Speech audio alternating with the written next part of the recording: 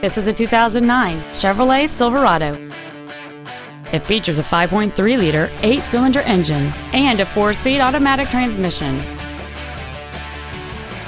Its top features include a power driver's seat, air vents for rear-seated passengers, cruise control, a six-speaker audio system, a double wishbone independent front suspension, four-wheel independent suspension, a bed liner, a low tire pressure indicator, a split folding rear seat, and this vehicle has fewer than 24,000 miles on the odometer. This vehicle is sure to sell fast. Call and arrange your test drive today.